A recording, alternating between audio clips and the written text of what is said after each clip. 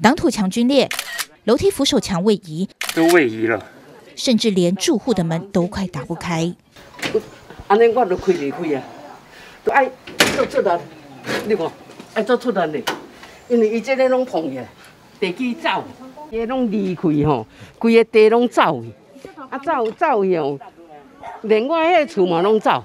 安乐国小上方住户忧心忡忡，求助市议员秦真。我们那个崇德路十五巷这边哈，这阶梯还有挡土墙的一个严重的龟裂哈，也造成民房的一些的所谓门框的一些变形哈，啊，造成住户的安那担心这公共安全的问题。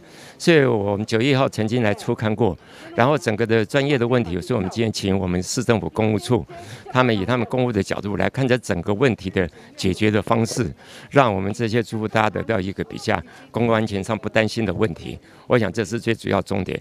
今天的责任追究不是在于追究问题，而是在如何来改善后续现在的状况的一个公共安全问题。安乐区公所民政课及经建课课长都亲自到场查看。这个看到就是说这个。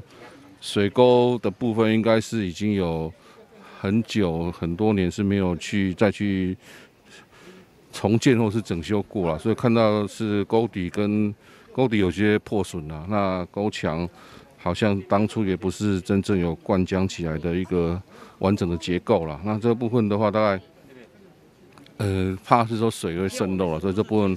就是优先来处理，应该是这个部分。那因为里长反映这个案件哈，已经好几年了。那居民也是住在这边哈，有可能会担心安全的问题。那我们尽快的，还有议员非常关心这件事，我们尽快办理会刊。那也邀请很多相关单位来现场。那针对这个部分的问题，相关经费我们到时候会先做总体性的评估。那我们有查过土地权属是国产署，那国产署也表示说，大他们还会再办一次会刊，然后到时候邀请台北水保分局一起协助过来看，那看是可以帮我们争取中央的一些补助的款项，做整体性的改善，这样维持这个地方居民的居住的安全。记者蔡小军采访报道。